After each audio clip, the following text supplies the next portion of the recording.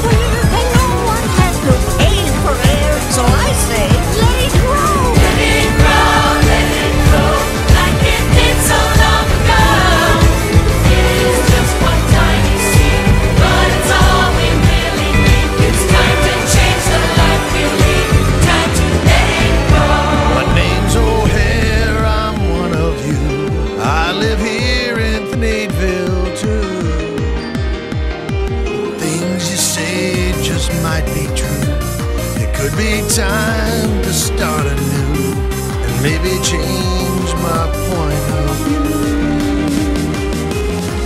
Nah, I say let it die, let it die, let it die, let it shrivel up and come on, who's with me, huh?